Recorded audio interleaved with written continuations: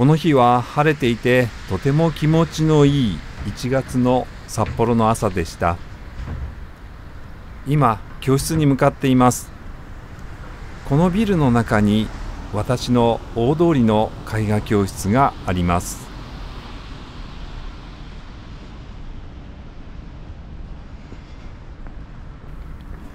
玄関を入りましたら美しいステンドグラスがあってその向かい側には毎週新しく飾られるお花があります。これを毎週描いても面白いなと思っています。それでそのロビーの突き当たり右側に私が借りている大通りの絵画教室のスペースがあります。こんにちは水彩画の酒井です。この日も皆さんと一日楽しく水彩を描きました。もう16時が過ぎましたのでそろそろ帰りたいと思います。帰り道今札幌雪まつりの準備をしている大通公園の横を通りましたがそこで見つけた冬の街角風景を描いてみたいと思います。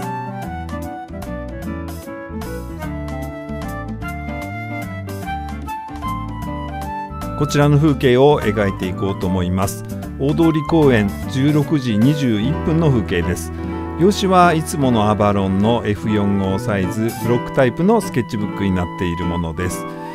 えー、こう今あの写真をコピー取ってますけれども、まあ、一応こんな感じで、えー、投資図法のことも少し意識しながら最初は書いていこうと思います、えー、結構複雑なので、え軽く用紙に印だけはつけておきました。えー、そして大まかなところからまず塗っていこうと思います。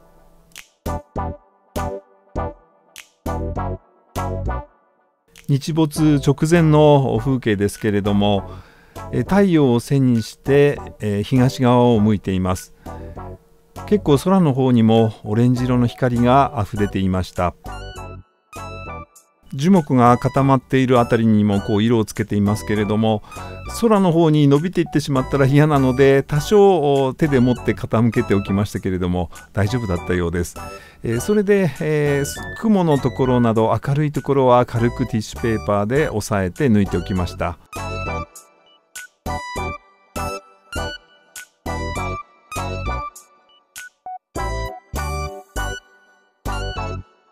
ちょうど赤いバスが止まっていて、えー、この赤い色がアクセントになっていいのかなと思ったんですが、えー、ちょっと中心すぎたかもしれませんね。えー、それで、えー、後でまた少しこのことは工夫していこうかなと思って、え描いています。公園内にある樹木のところ塊で捉えて大きくつけていきます。えこんな感じですね。でそこにちょうど街灯がつき始めたので、えー、その点がついていくとまたここの調子がちょうど良くなるかなと思っていますけれども、えー、そんな感じで進めています。それでここに赤いバスがあって、えー、これがポイントになるなと思ったんですが、えちょっと中心にただ一つポツンとあるとバランスが取れないなと思ったものですからでよく見ると右の方にはえちょうど雪まつりの会場を作っている、えー、重機があってそこにもオレンジ色があって、えー、左の方にはビルの、えー、中の電気がついたオレンジ色が多少見えていたのでこの辺りをずっと横につないでいくと、えバランスが取れるのかなと思いまして、えそれで最後の左右のその赤みというところを、えちょっと強めに描くことにしました。ここまで一気に描いていきましたがもう少し遠くのところの木のところに、えー、細かな変化の調子が欲しかったなと思って、えー、ここで工夫してみることにしました。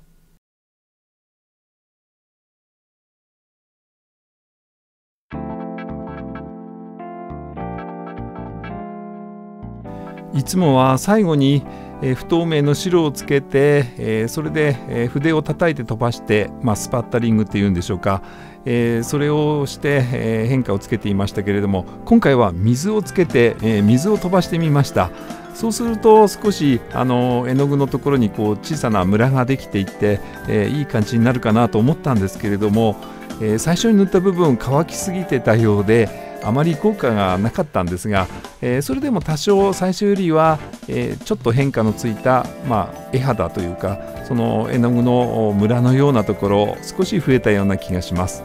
えー、そこをまたよく乾かしてから今枝を描いています。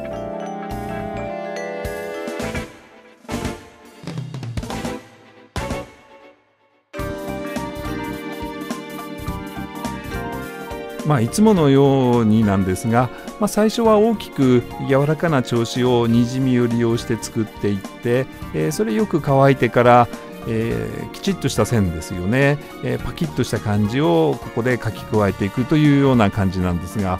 えー、だいぶ今切って飛ばしてますけれどもこの辺りは細かいので結構時間がかかっています。えー、細かく書いていきますが、えー、それもまああのやりすぎてしまうと少し賑やかな感じになってしまいますから、えー、様子を見ながらどの程度にするかなというところが難しいのかなと思います。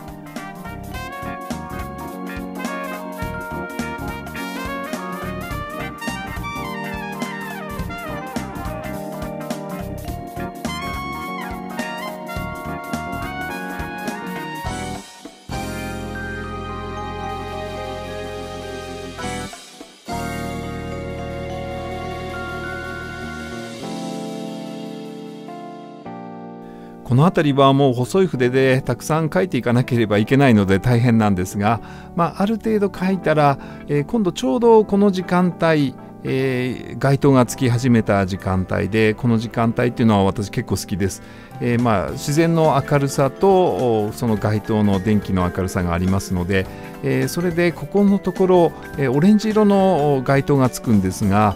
えー、先に白をつけておきましたそれでこの白なんですけれどもいつもの不透明水彩の、えー、白でしたら、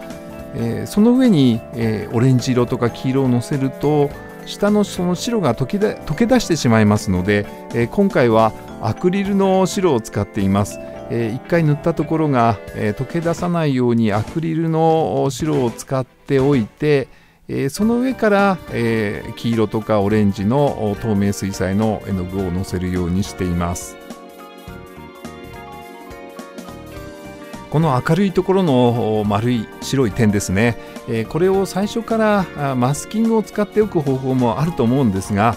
まあ、マスキングを使うとですね最初何も塗ってないところに予想してこうつけていかなければいけないのでそれよりも私はある程度この樹木の辺りの色がついた状態を見ながらその点の数をこう決めてった方がなんとなく好きなので、えー、あまり私はマスキングを使わないで、えー、不透明の白とか不透明のアクリルを使ったりします。えー、この作品は結構細かいところがたくさんあったんで、えー、あ録画時間も長くなったので思い切ってたくさん切ってしまったら少し切りすぎてしまいました、えー、まあもう一回編集し直すといいんですけれどもまあ時間がかかっちゃうんで、え今回は大体の流れを見ていただければいいかなと思っています。で最後の方にこの地面の辺りの暗いところをきちっと入れていくと引き締まった感じになってえー、作品が落ち着いた感じで完成するのかなと思っています。えー、そんな感じでこんなようにできました、えー、結構書き込んでいます